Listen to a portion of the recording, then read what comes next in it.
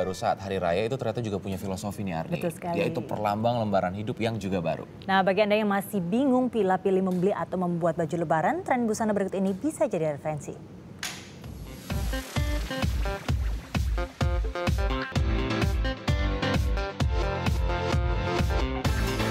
Salah satu gaya favorit keluarga saat rayakan Hari Raya adalah dengan berpenampilan senada. Khususnya bunda dan putrinya. Baju kembar seperti ini populer dengan sebutan sarimbit. Modelnya beragam. Salah satunya sarimbit gamis. Bernuansa khas islami dan potongan tertutup rapi membuat model gamis abadi.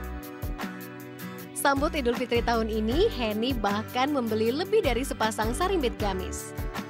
Praktis mendasari pilihan ibu seorang putri ini untuk membeli ketimbang membuat baju lebaran. Ya, kalau di sini modelnya lebih banyak kalau di Tanah Abang. Lebih banyak, harganya lebih miring.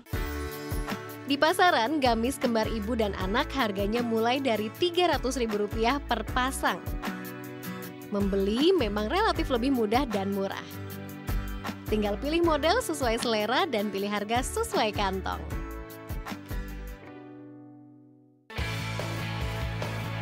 Namun bukan berarti membuat tak lebih baik. Sentuhan personal, fleksibilitas ukuran, dan eksklusivitas membuat sebagian warga memilih menjahitkan baju lebaran. Seperti Dita yang akan tampil kembar berkaftan dengan buah hatinya. Kalau bikin itu uh, sesuai sama bisa sesuai sama ukuran badan ya. Karena kan badan tinggi ya, badan saya tinggi gitu kan. Uh, kalau beli kan suka ngatung sama uh, biar bisa kembar sama anak. Oh gitu. Gitu. Saya kalau di toko suka susah cari ibu dan anak gitu. Kenapa kaftan?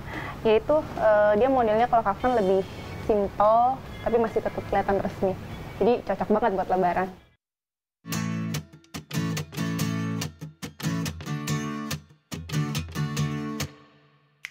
Tidak semua penjahit bisa membuat pakaian muslim anak-anak. Karena dari desain, cutting, sampai pemilihan bahan dan kain sangat berbeda dengan pembuatan baju muslim dewasa. Masih ada beberapa hal lain yang tak boleh terabaikan untuk sukses menjahitkan baju lebaran.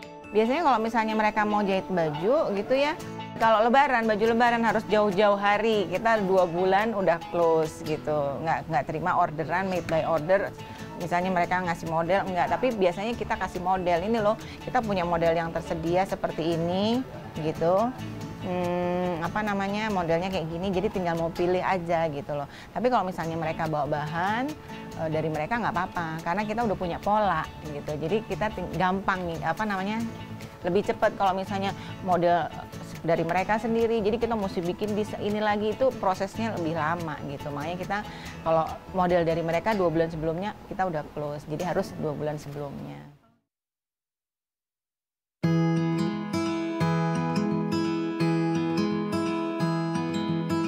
Selain sarimbit gamis dan kaftan, tahun ini sarimbit abaya juga tengah naik daun. Apa pun pilihan modelnya, pastikan pakaian pilihan nyaman dikenakan. Selamat bergaya di hari raya!